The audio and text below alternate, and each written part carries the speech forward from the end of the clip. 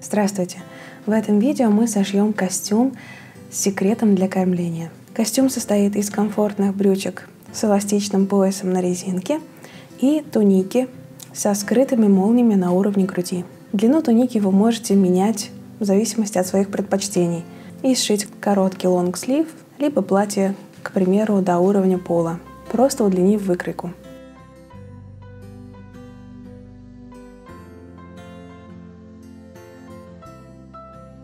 Этот костюм сшит из трикотажа футера двунитки. Это трикотаж качества пенье, то есть высокого качества. У многих видов трикотажных полотен есть такой недостаток, как образование катышек. Несколько носок, несколько стирок, и внешний вид трикотажного изделия уже совсем не тот. Так вот, трикотаж качества пенье не имеет таких недостатков. Такой вид трикотажа создается из длинных хлопковых волокон. Благодаря этому поверхность полотна получается не только тонкой, гладкой и шелковистой, но и не пилингуется. Такое полотно устойчиво к истиранию, к многочисленным носкам и стиркам. А еще такой вид трикотажа меньше загрязняется и мнется. Поэтому, если вы хотите сшить изделие из трикотажа, не боясь, что оно потеряет свой первоначальный внешний вид, выбирайте трикотажное полотна качества пенье. Этот трикотаж, футер двунитка, из магазина ткани Казани. Однажды мы с вами уже шили спортивный костюм из такого же трикотажного полотна, из футера двунитки. И спустя долгое время и многочисленные стирки костюм выглядит как новенький.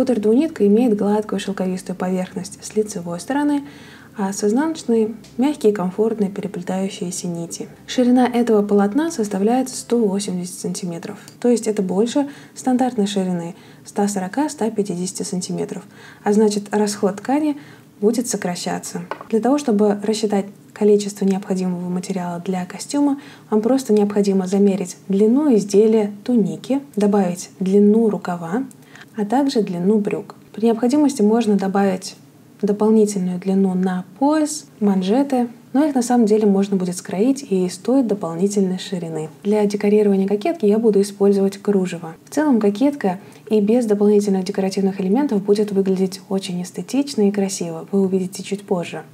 Но при желании вы можете добавить и кружево. Количество необходимого кружева можно рассчитать, замерив длину кокетки по нижнему срезу, а также ширину спинки на этом же уровне. Плюс добавить к этой величине две ширины рукава в самой широкой части. В месте соединения кокетки и нижней детали полочки мы можем обработать одну потайную молнию. Для этого потребуется потайная молния длиной примерно 35-50 см. Молния не обязательно должна быть потайной.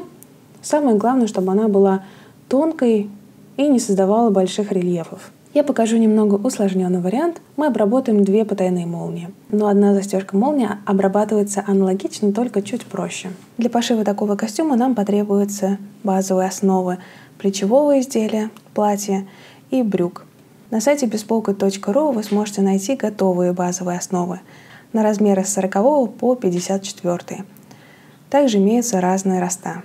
На странице товара есть инструкция по выбору своего размера, базовой основы базовых лекал, а также пошаговая инструкция, как распечатать и пользоваться этими базовыми основами. Ну и поскольку базовые лекала сконструированы на типовые размеры, а наши фигуры, как правило, немного отличаются от типовых, вместе с пакетом лекал вы получите инструкцию по коррекции базовой основы по своим индивидуальным меркам. Я воспользуюсь комплектом базовых основ 46 размера, коррекцию делать не буду. Эти базовые основы идеальны для моделирования, то есть для создания различных фасонов одежды. Чтобы не разрезать саму выкройку, я переведу ее на кальку. Для этого просто обведу базовую основу полочки по всем срезам, по всем линиям, боковой срез, пройма, плечевой, выточка, срез горловины и линию середины. Не забываем про талиевые выточки и также для удобства обозначим уровни груди, талии и бедер. Туника будет расклешенного А-образного силуэта, поэтому выточки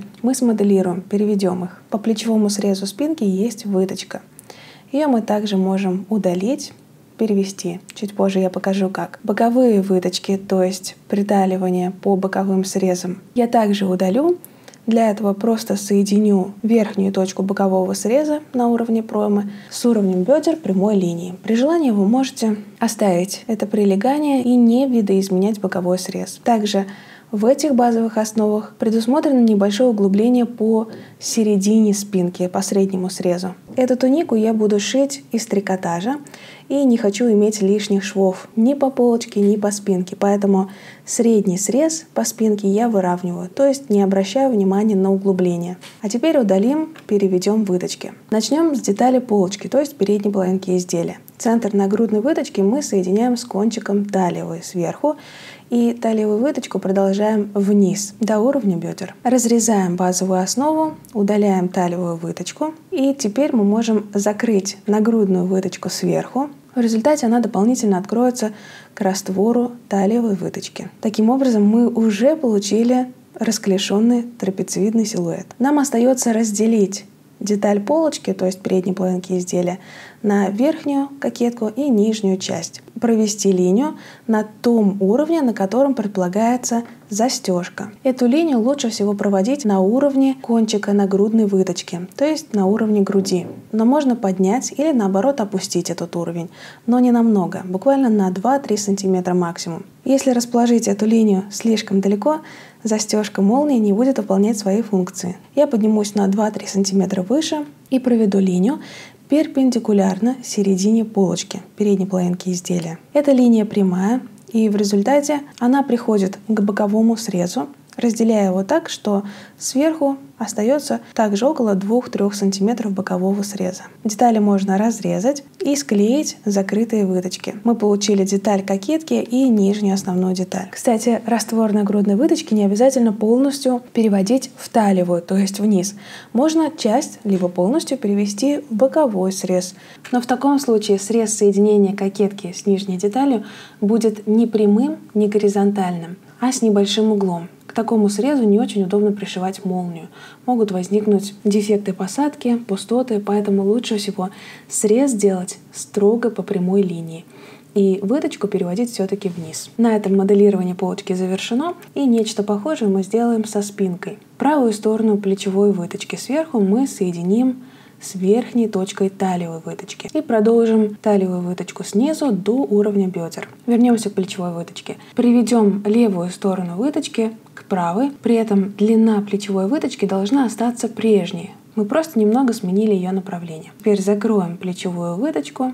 В результате центральная боковая детали спинки немного накладываются друг на друга, буквально 3-5 мм над талиевой выточкой. В этом нет ничего страшного можем склеить детали. Мы закрыли плечевую выточку, но ее раствор раскрылся дополнительно в талиевой, то есть снизу. И мы снова получили расколешенный силуэт. На самом деле плечевую выточку вы можете оставить, но в изделиях из трикотажа это не обязательно. Плечевая выточка нужна для лучшей посадки. Но эластичный трикотаж скрывает большую часть дефектов, поэтому трикотажные изделия лучше всего не отягощать дополнительными выточками. Если вы не хотите создавать излишне расклешенный силуэт, то в целом раствор плечевой выточки, к примеру, сантиметр либо полтора сантиметра, можно срезать от длины плечевого среза, ну, то есть сбоку, от проймы, и плавно привести новый уровень внешней плечевой точки к линии проймы. Но все-таки правильнее будет перевести плечевую выточку с сохранением посадки тем способом, который мы рассмотрели. Кстати, спинку разделять на верхнюю и нижнюю деталь, то есть формировать кокетку не нужно, поскольку по спинке застежки молнии у нас не будет. Можем переходить к раскрою. Полочку и спинку серединкой я буду прикладывать к сгибу, для того, чтобы избежать излишних швов. От уровня талии я откладываю желаемую длину изделия, то есть длину туники, и делаю отметку. Дополнительную длину можно замерить от уровня бедер и отложить ее вниз. Ну и поскольку срез низа спинки состоит из двух частей, я откладываю эту же величину от двух отрезков. Продолжаю линию бокового среза до уровня низа изделия. И два отрезка по низу изделия соединяю плавно слегка круглой линией. Аналогично краим полочку. Также прикладываем середину полочки в сгиб и нам необходимо скроить кокетку, верхнюю часть и нижнюю часть полочки. при этом не забываем оставить припуски на швы. А вот по нижнему срезу кокетки необходимо оставить дополнительное количество припусков для небольшого клапана, который будет перекрывать молнию. Достаточно добавить к обычному припуску на шов, то есть 1 см, еще 4-6 см, в зависимости от того, какой длины вы хотите иметь клапан. То есть мы будем притачивать молнию по нижней линии кокетки, и у нас останется дополнительный участок, цельнокроенный клапан, который будет перекрывать молнию и швы. Рукава я скроила без изменений. Нижний срез кокетки и верхний срез нижней большой детали можно обметать строчкой зигзаг либо оверлоком. Место притачивания молнии по нижней детали можно продублировать тонким флюзелином либо трикотажным дублерином, для того, чтобы срез не растягивался и не образовывал волны. Также можно продублировать тонкую полоску и по кокетке на том уровне, на той линии, по которой будет притачиваться молния. Но кокетка будет и так достаточно многослойной и плотной, поэтому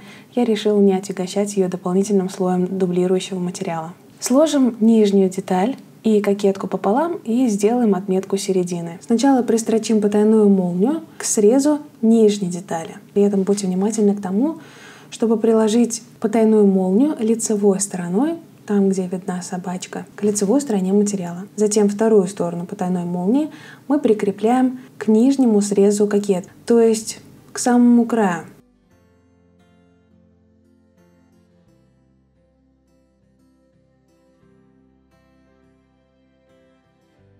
И притачиваем молнию специальной лапкой либо односторонней. Притачали.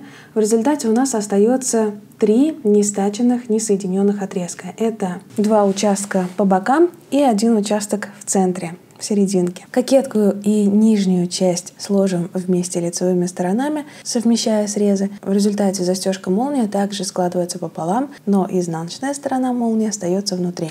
Скрепим срезы друг с другом в тех участках, отрезках, которые не прострочены. То есть это 3-4 сантиметра по центру и в моем случае примерно такой же отрезок по бокам. Очень удобно воспользоваться односторонней лапкой для того, чтобы застрочить эти отрезки. В результате мы получаем полностью присоединенные друг к другу детали, которые разделяются в двух отрезках, в двух участках потайными молниями. Ничего страшного, если молнии пришиты не вплотную и остаются немного видны. Это будет создавать меньшее трение между собачкой и материалом, ну и более того, мы скроем место притачивания молнии так называемым цельнокроенным клапаном. Сейчас сформируем его. Просто подтянем кокетку вниз, создавая складку, так, чтобы линия нижнего края детали кокетки, которую мы обрисовывали в самом начале, совпадала с линией притачивания молнии. Сформировали складку, можем назвать его цельнокроенным клапаном, и по сгибу булавками прикрепим край кокетки к нижней детали для того, чтобы сохранить баланс. Кокетку по боковым срезам я раскроила просто по наклонной линии. Поэтому сейчас у меня выходят небольшие треугольники по бокам. Их можно смело срезать, поскольку мы уже точно сформировали боковой срез. Для того, чтобы закрепить ту складку цельнокроенный клапан по лицевой стороне, мы можем проложить строчку по верхней части молнии, и на этом застежка будет готова. Но можно добавить деталь, которая будет защищать вас от молнии. Для этого достаточно скроить полоску из того же материала шириной примерно 3-4 сантиметра ну а длиной равной длине полочки на уровне застежки. Полоску лучше всего кроить по долевой, то есть вдоль кромки, чтобы она меньше растягивалась. Сначала пристрочим полоску только к срезу кокетки. При этом я прикладываю защитную полоску на 5 мм выше чем нижний срез кокетки. Я делаю это для того, чтобы распределить немножко толщину, которая может образоваться в этом месте. В этом участке получается большое количество слоев и ткани, и молнии. Прикрепляем срезы друг к другу и по краю даем строчку. Край защитной полоски я прикрепляю к основной части кокетки и по самому краю даю строчку. Эта строчка проходит насквозь и она будет видна по лицевой стороне Поэтому необходимо постараться сделать ее ровной. А если вы планируете декорировать кокетку с помощью кружева, то эта строчка будет незаметна, поэтому ничего страшного, если будут какие-то дефекты. Строчку проложили, защитная деталь теперь закрывает и защищает тело от молнии. И на этом деталь полочки готова. При желании по бокам можете закрепить складку, клапан и защитную полоску, проложив строчку закрепку. На этом полочка готова. Мы можем соединить ее с деталью спинки, но если вы планируете также декорировать кокетку, то прежде нам необходимо пришить кружево к полочке. Накладываем полоску кружева так, чтобы нижний ее край, то есть фестоны, накрывали место притачивания молнии и желательно край клапана, для того, чтобы его было совсем незаметно. Далее по всем срезам, контурам прикрепляем кружево и срезаем лишнее. Не обязательно использовать такую широкую полоску на всю деталь кокетки.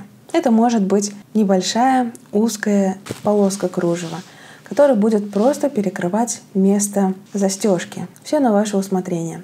Теперь я проложу строчку примерно на 5 мм от срезов вдоль бокового среза, среза пройма, плечевого, горловины, для того, чтобы закрепить кружево по контуру, а также прямую строчку вдоль той строчки, которая есть по лицевой стороне, то есть сверху клапана, сверху складки. После этого я проложу дополнительную строчку по узору кружева. По спинке повторяем все то же самое. Накладываем кружево, Срезаем по контурам все лишнее, прикрепляем, проложив строчку по всем срезам краям. По низу кружева, по фестонам, по краю фестонов я прокладываю фигурную строчку, повторяя контуры нижних срезов. Если кружево отличается по цвету от цвета основного материала, то лучше всего заправлять верхнюю нить под цвет кружева, а нижнюю, то есть шпульки, также оставить под цвет основного материала. В результате не только лицевая сторона детали получается аккуратной, но и изнаночная.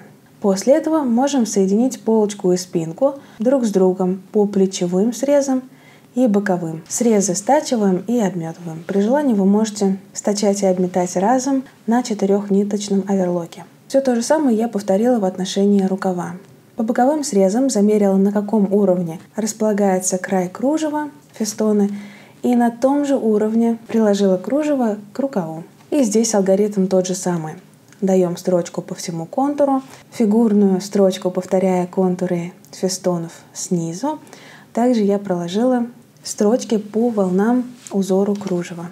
После этого рукав можно сложить пополам, совместить срезы и дать строчку.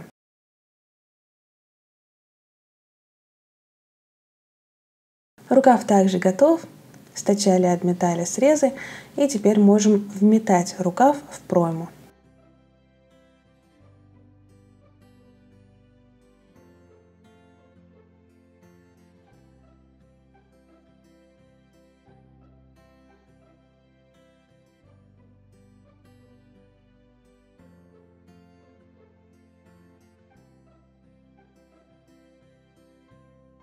Туника практически готова. Остается обработать еще несколько срезов.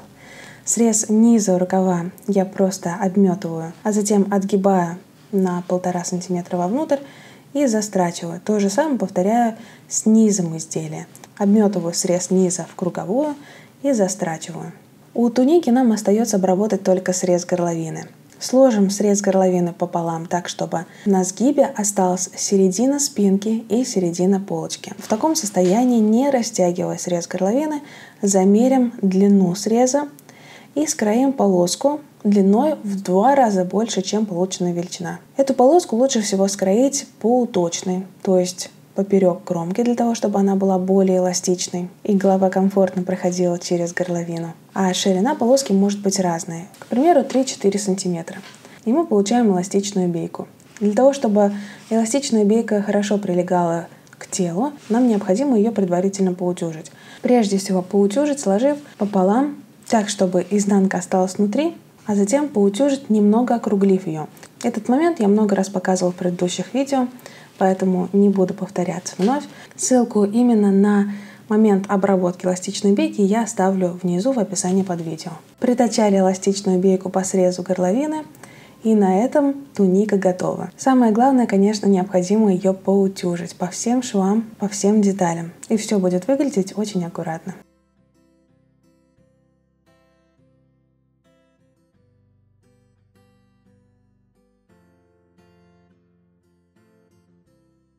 Раскроим брюки. По брюкам я не делала заужений, оставила все как есть, за исключением того, что просто понизила уровень талиевого среза. Базовая основа брюк создается таким образом, что верхний срез, талиевый срез, находится на уровне талии.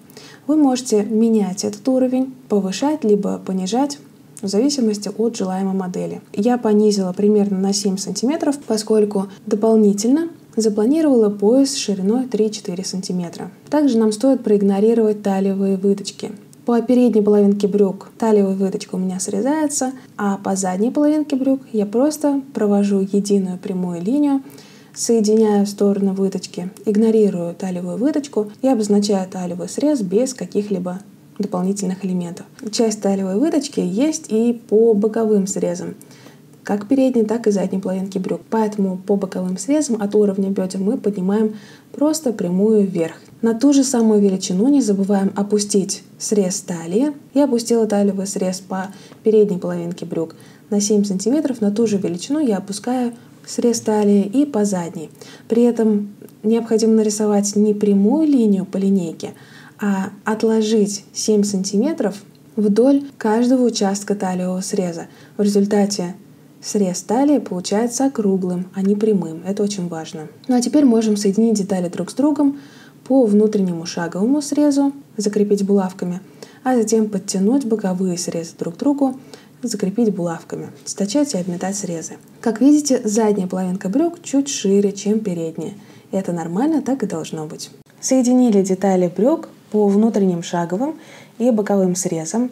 Нижние срезы я сразу же обметала, поскольку хочу просто застрочить их, без обработки дополнительных деталей манжет. Теперь нам необходимо соединить две части брюк. Для этого одну половинку уворачиваем на лицевую сторону, вторую оставляем на изнаночной. Две половинки брюк соединяются друг с другом лицевыми сторонами. И нам необходимо совместить округлые средние срезы, скрепить их булавками и проложить строчку. Раскроим пояс для брюк. Деталь пояса в длину кроим поперек кромки, то есть по уточному направлению. Именно в этом направлении трикотажное полотно тянется достаточно сильно, как резинка. Длина этой детали может быть равна мерке обхвата бедер, либо чуть меньше. Ну а ширина может зависеть от ширины резинки, которую вы планируете использовать, либо ваша желаемая ширина. Ширина моей резинки примерно 3 сантиметра, значит в готовом виде мне необходимо иметь пояс шириной 6-7 сантиметров. Ну и еще добавляем припуски нашего по сантиметру с каждой стороны, и того получаем 8-9 сантиметров ширина детали. Для пояса нам потребуется резинка длиной примерно равной мерке обхвата талии, либо обхвата того уровня, на котором предполагается пояс. Далее заготовим пояс, вложим в него резинку. Концы резинки можно сразу же соединить друг с другом. И затем нам необходимо сложить пояс пополам так, чтобы резинка осталась внутри, и скрепить срезы пояса не захватывая при этом резинку, то есть чтобы она свободно перемещалась внутри детали пояса.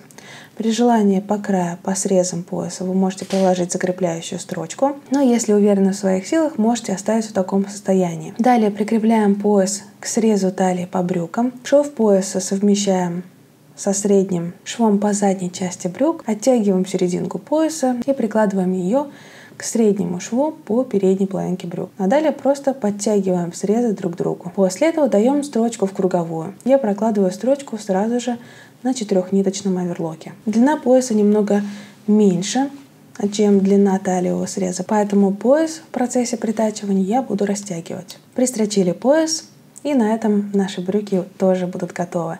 Останется только обработать срезы низа брюк. Я их обметала и застрочила на 2 сантиметра.